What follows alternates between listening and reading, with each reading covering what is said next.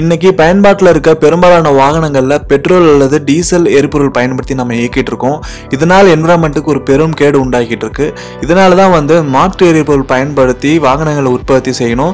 நாடுகளும் வந்து அதை நோக்கி தங்களுடைய பாலிசியை வந்து கொண்டு போகணும் அப்படின்ற கருத்தை வந்து நிறைய பேர் முன் வச்சிட்டு இருக்காங்க. இதை வந்து சில நாடுகள் வந்து ஏற்று முன்னெடுத்தும் போய்கிட்டு இருக்காங்க. இந்த மாற்று எரிபொருள் பயன்படுத்தி இயக்கக்கூடிய வாகனத்தில் எது முதன்மையாக இருக்குன்னு பார்த்தீங்கன்னாக்கா எலக்ட்ரிக் வெஹிக்கிள்ஸ் தான். இந்த எலக்ட்ரிக் வெஹிக்கிள்ஸில் நம்ம மின்சாரத்தை பேட்டரியில் ஸ்டோர் பண்ணுறோம் அந்த பேட்டரியில் இருக்கக்கூடிய மின்சாரத்தை மோட்டாருக்கு பயன்படுத்தி இந்த வாகனத்தை இயக்குறோம். இது கம்ப்ளீட்டாக எமிஷன் ஃப்ரீயான்னு கேட்டிங்கனாக்கா கிடையாது. ஏன்னாக்கா இந்த பேட்டரி வரக்கூடிய மின்சாரம் வந்து கோல்லேருந்தும் வரலாம் சோலார்லேருந்து வரலாம் விண்ட்ல எனர்ஜிலேருந்து வரலாம். ஸோ இது வந்து கம்ப்ளீட்டாக வந்து எமிஷன் ஃப்ரீ கிடையாது. ஏதோ ஒரு விதத்தில் வந்து நம்ம என்விரான்மெண்ட்டுக்கு மாசு உருவாக்கிட்டு தான் இருக்கும். அடுத்து இந்த ஹைட்ரஜன் ஃபியூல் செல் கொண்டு வாகனத்தை இயக்கும் இந்த தொழில்நுட்பம் வந்து இப்போ வளர்ச்சி பெற்றுட்டு இருக்கு. பல நிறுவனங்கள் ஹிண்டாய் டொயோட்டோ ஹோண்டா இப்படின்னு பல நிறுவனங்கள் வந்து இதற்காக பெரும் முதலீடு பண்ணி தங்களுடைய வாகனங்களை உற்பத்தி செஞ்சுட்டு இருக்காங்க நிறைய மக்களுக்கு கொண்டு போகணும் அப்படின்ற முயற்சியும் எடுத்துட்டு இருக்காங்க ஹைட்ரஜன் ஃபியூல் செல்ஸ் எப்படி ஒர்க் ஆகுது அப்படின்ற ஒரு கேள்வி இருக்கும். நார்மலாக பேட்டரியில் மெட்டல்ஸை தான் வந்து நம்ம ஆனோடா அல்லது கேத்தோடா யூஸ் பண்ணோம் பட் இந்த ஹைட்ரஜன் ஃபியூல் செல்ஸில் நம்ம கேஸ் தான் வந்து ஆனோட் மற்றும் கேத்தோடா யூஸ் பண்ணுறோம். இந்த இடத்துல ஹைட்ரஜன் மற்றும் ஆக்சிஜனை பயன்படுத்தி அதுலேருந்து ஏற்படக்கூடிய கெமிக்கல் ரியாக்ஷன்லேருந்து எலக்ட்ரிசிட்டியும் ஹீட்டையும் வந்து ப்ரொடியூஸ் பண்ணுது.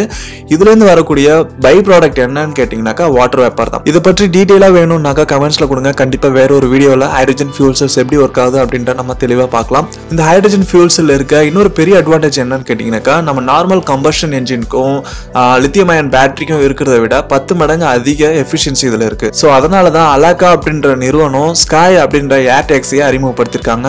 இந்த ஏர் டாக்ஸில் இருக்கக்கூடிய சிறப்பு அம்சங்களை பார்க்கலாம். இதில் நாலு பேசஞ்சர் ஒரு பைலட் என ஐந்து பேர் மொத்தமாக பயணிக்க முடியும்.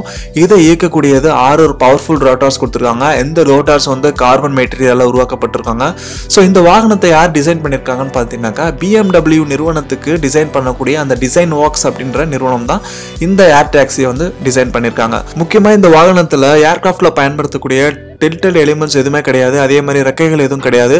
ஸோ ஒரு ட்ரோன் எப்படி நம்ம சின்ன ட்ரோன் ஆப்ரேட் பண்ணுறோமோ அதே மாதிரி தான் இது இயங்குது. இதில் அட்டோனமஸ் டெக்னாலஜி இருக்கா? ஆள் இல்லாமல் இயக்க முடியுமான்னு கேட்டிங்கனாக்கா கிடையாது. இப்போதைக்கு வந்து பைலட் கண்டிப்பாக இருப்பாங்க.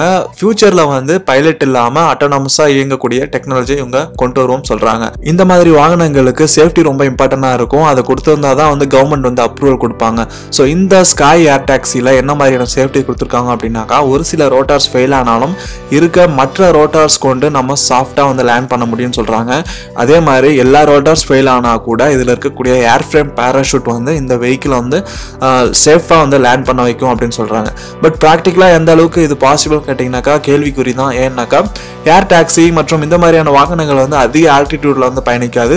ஸோ இதோட ஆல்டிடியூட் வந்து ரொம்ப லிமிட்டடாக தான் இருக்கும். ஸோ அந்த லிமிட்டட் ஆல்டிடியூடில் சப்போஸ் இது ஃபெயில் ஆச்சு அப்படின்னாக்கா அந்த குறைந்த ஹைட்டில் வந்து இதை பேராஷூட்டை டிப்ளாய் பண்ணி சாஃப்டாக லேண்ட் பண்ண வைக்க முடியுமா அப்படின்ட்டு ரொம்ப ரொம்ப ரிஸ்கான விஷயமா தான் இருக்கும். ஸோ அப்ரூவல் பெறறதுக்கு வந்து ரொம்ப கடினமான விஷயமா தான் இருக்கும். அடுத்த முக்கியமான விஷயம் வந்து ரேஞ்சு நம்ம எலக்ட்ரிக் காரோ அல்லது ஸ்கூட்டர் வாங்கும்போது கூட வந்து ஒரு சார்ஜில் எத்தனை கிலோமீட்டர் போகும் அப்படின்ற ஒரு கேள்வியை முன்வைப்போம். ஸோ அதே மாதிரி இந்த ஏர் டாக்ஸி வந்து ஒரு டைம் அந்த ஹைட்ரஜன் ஃபில் பண்ணோம் அப்படின்னாக்கா சிக்ஸ் ஃபார்ட்டி கிலோமீட்டர் வந்து நம்ம போக முடியும். ஸோ ஃபோர் ஹவர்ஸ் வந்து கண்டினியூஸாக இயக்க முடியும் அப்படின்னு சொல்கிறாங்க ஸோ ஒரு நிறுவனம் வந்து இந்த ஏர் டாக்ஸியை வாங்கி பயன்படுத்துகிறாங்க அப்படின்னா அவங்களுக்கு கண்டிப்பாக வந்து ப்ராஃபிட் வந்து கிடைக்கும் அப்படின்றதையும் வந்து இவங்க சொல்கிறாங்க ஸோ இந்த நிறுவனம் இப்போ அப்ரூவலுக்காக வெயிட் பண்ணிட்டு இருக்காங்க. ஸோ பர்மிஷன் கிடச்சிச்சு அப்படின்னாக்கா ரெண்டாயிரத்தி இருபத்தி ஒன்றுலேருந்து இவங்களுடைய சர்வீஸ் வந்து ஸ்டார்ட் பண்ணுவாங்க. ஸோ எந்த சிட்டியில் வந்து இதை லான்ச் பண்ணுவாங்கன்ற டீட்டெயில்ஸ் நமக்கு ஃபியூச்சரில் தெரிய வரும். ஸோ இது மாதிரி வேறு நிறுவனங்கள் ஒர்க் பண்ணிட்டு இருக்காங்களா அப்படின்னு கேட்டிங்கனாக்கா கண்டிப்பாக நிறைய நிறுவனங்களுக்கு வந்து இதுக்காக ஒர்க் பண்ணிட்டு இருக்காங்க. போயிங் மற்றும் ஈஹாங் அப்புறம் ஒர்க்காப்டர் அப்படின்ற நிறைய பல நிறுவனங்கள் வந்து இந்த ஏர் டாக்ஸி அல்லது ஏர் கார் அப்படின்னு சொல்லக்கூடிய இந்த வாகனத்துக்கு வந்து அவங்களுடைய முதலீடை பண்ணி வந்து ஒர்க் பண்ணிட்டு இருக்காங்க. பட் இன்னும் எந்த ஒரு நிறுவனமும் வந்து சாட்டிஸ்ஃபைடாக வந்து ப்ரூவ் பண்ண முடியல. மேபி இன்னும் ஒரு ஃபைவ் டு சிக்ஸ் இயர்ஸில் வந்து இது முழுமை பெறும் அப்படின்னு நம்பலாம். இந்த ஹைட்ரஜன் ஃபியூல் செல்லையும் மற்றும் ஏர் டாக்ஸி அல்லது ஏர் கார் தொழில்நுட்பத்திலையும் வந்து பல நாடுகள் வந்து ஒர்க் பண்ணிட்டு இருந்தாலும் இந்தியாவில் இது எந்த அளவுக்கு வந்து இந்த தொழில்நுட்பத்தில் ஈடுபட்டு இருக்காங்கன்னு கேட்டீங்கன்னாக்கா சொல்லிக்கிற அளவுக்கு எதுவுமே கிடையாது. ஈவன் எலக்ட்ரிக் கார்ஸை வந்து ப்ரொமோட் பண்ற அளவு கூட இன்னும் கவர்மெண்ட் வந்து தங்களுடைய பாலிசியை வந்து சேஞ்ச் பண்ணல. இந்த மாற்று எரிபொருள் தொழில்நுட்பத்திலையும் இந்த எரிபொருள் கொண்டு இயங்கும் வாகன தயாரிப்பிலையும் வந்து ரொம்ப ரொம்ப ரொம்ப பின்தங்கி தான் நாம இருக்கோம். ஸோ இந்தியா இதற்கு அப்புறமாவது ஹைட்ரஜன் ஃபியூல் செல் டெக்னாலஜி அல்லது எலக்ட்ரிக் வெஹிக்கிளில் வந்து ஃபோக்கஸ் பண்ணணும் அப்படின்றது தான் எல்லாருடைய விருப்பமாக இருக்குது ஸோ இது பற்றின உங்களுடைய கருத்து இருந்தால் கமெண்ட்டில் கொடுங்க. நன்றி.